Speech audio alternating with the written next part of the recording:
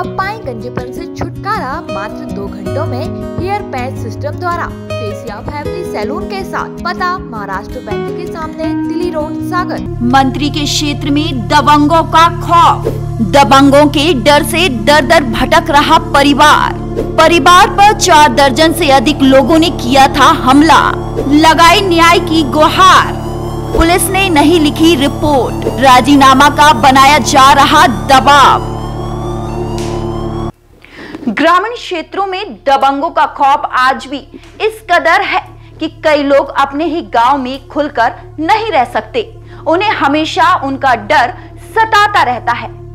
ऐसा ही एक मामला सागर ज़िले के खुरई के बांद्री थाना इलाके से सामने आया है, जहाँ एक परिवार पिछले पंद्रह दिनों से अपने ही गाँव में नहीं जा पा रहा है। वह दर दर भटक रहा है। इस परिवार ने एसडीओपी से न्याय दिलाने की गुहार लगाई है। देखिए रिपोर्ट। पथरिया बामन गाँव में रहने वाला जीतू अहिरबार अपने घर के पास मशीन से बोर खुदवा रहा था। लेकिन इस मशीन से पड़ोस में ही रहने वाले दबंग हरि नारायण के यहाँ लगी चक्की के बिजली की केबल टूट गई, जिससे इन दोनों के बीच विवाद होने लगा। जबकि जीतू ने कहा कि वह नई केबल लगवा देगा। लेकिन इसके बाद भी दबंग शांत नहीं हुआ। तभी उसके परिवार के लगभग चार दर्जन से अधिक लोग लाठियाँ लेकर आए और उसके परिवार पर हमला बोल दिया। जमकर मारपीट की जिसमें उसकी माँ, पत्नी बच्चों सहित उसे भी चोटें आई हैं।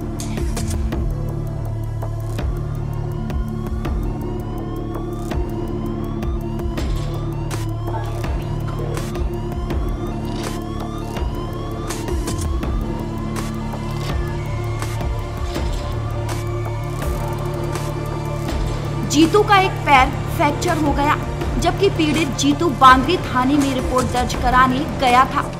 तो पुलिस ने भी दबंगों के खिलाफ रिपोर्ट नहीं लिखी, बल्कि उसे राजीनामा के लिए डराया, धमकाया गया। दो दिन बाद जब उसने सीएम हेल्पलाइन पर शिकायत की तो पुलिस ने जीतू की ही पिटाई कर दी, जिससे उसकी और खराब हालत हो गई। जीतू और उसके परिवार वालों ने पुलिस अधीक्षक से भी शिकायत की है। लेकिन कार्रवाई नहीं हुई। अब हालात यह बने हैं कि जीतू उसका परिवार उन दबंगों के डर से अपने ही घर नहीं जा पा रहा है। जीतू ने उन पर आरोप लगाते हुए बताया कि अब वे उसे डराने धमकाने के लिए अवैध हथियारों के साथ रील बनाकर टैग कर रहे हैं। सर हमारे साथ मारपीट हुई थी इसलिए हम यहाँ पे आए थे एस डी ओ साहब के यहाँ। कहाँ हुई थी? क्या हुआ? पथरिया बामन में मारपीट हुई थी। कुछ कार्रवाई नहीं हो रही थी तो हमने एक सौ इक्यासी पे फ़ोन लगाया था। एक सौ इक्यासी पे फ़ोन लगाया तो बांदरी थाने गए थे एक्सरा की एम से जानकारी करने। तो वहाँ पर मुंशी बोले कि तुम इन्हें एक सौ इक्यासी कम्प्लेंट की थी, वो वापस ले लो। मैंने कहा, मैं नहीं लूँगा, कार्रवाई करोगे तो हम वापस ले लेंगे। बोले, नहीं नहीं, तुमको लेना पड़ेगी। उनने हमारे लिए मारा, ज़बरदस्ती एक सौ इक्यासी वापस करवाई। फिर हम भगा दिए। फिर मैं एसपी ऑफ़िस गया था आवेदन लेके वहाँ से भी कुछ कार्रवाई नहीं हुई थी, इसलिए मैं यहाँ पे आवेदन देने आया हूँ। पुलिस मेरे साथ है ना, अन्याय कर रही है, ज़बरदस्ती मेरे को है ना दबाव डाल रही है और उल्टा केस में फंसा रही है सर। हम लोगों ने हमारे साथ बहुत अन्याय वो बहुत मारपीट की, हमारी महिलाओं के साथ मारपीट की है। घर में घर में से खींच खींच के मारा है सर। हम लोग को हमारे पैर में फ्रैक्चर, फिर भी हमारी कुछ सुनवाई नहीं हो रही है। मैं यही गुहार लगाने आया था यहाँ पे एस टी साहब के यहाँ। सर न्याय मिले हमको। हथियार ले लेके मतलब धमकियाँ मिल रही हैं हम घर पे नहीं आ सकते हैं घर पे हमारी अकेली माँ रहती है वहाँ पे गाली गलौज करते हैं रोड पे हम लोग रोड पे नहीं जा पाते हैं। है। वीडियो बना के डालते हैं हमको धमकियाँ मिल रही हम लोग जा ही नहीं पा रहे सर घर पे। वीडियो काय की बनाते? वीडियो हथियारों की वीडियो बन रही है हथियार बताया जा रहा है हमारे लिए हम लोग नहीं जा पा रहे घर पे।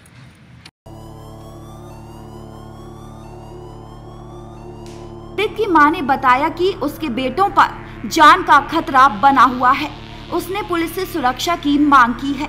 हमारी जान को खतरा है, सभी लोग मारने को फिर रहे हैं और कोई विश्वास नहीं है हमारा, कोई नहीं। हम सरकार से निवेदन जो करते हैं कि हमारे बेटों की सुरक्षा चाहते हैं और आग लगावे की कह रहा है कि हम आग लगा दें, तुम्हें और जान से मार दे। हैं तुम पथरिया में रह नहीं सकती हो।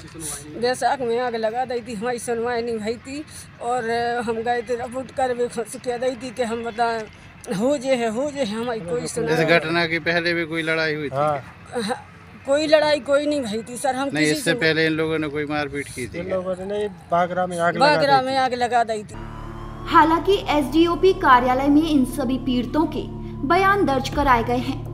अधिकारियों ने कार्रवाई और सुरक्षा दिलाने की बात कही है। देखिए पथरिया बामन में जीतू अहिरवार द्वारा एक एफआईआर कराई गई थी जिसमें सात लोगों के विरुद्ध जो है एक एफआईआर कर ली गई है। धाराएँ इसमें तीन सौ तेईस लगी हैं और सातों पे एफआईआर है।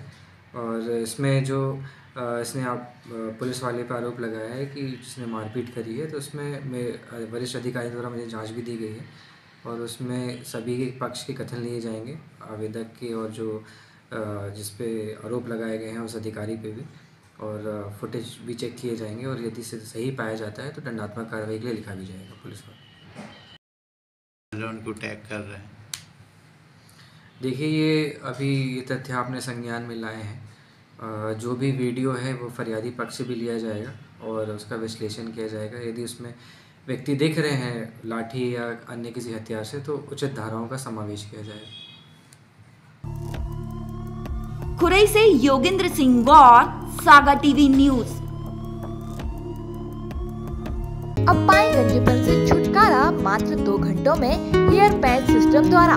फेसिया फैमिली सैलून के साथ। यूसिक्स ऑस्ट्रेलियन गोल्डन शिल्क मिराज मोनोफ्लीमेट बीएमडब्ल्यू पता महाराष्ट्र बैंक के सामने दिल्ली रोड सागर हमारा नंबर है eight seven seven zero three eight zero two zero seven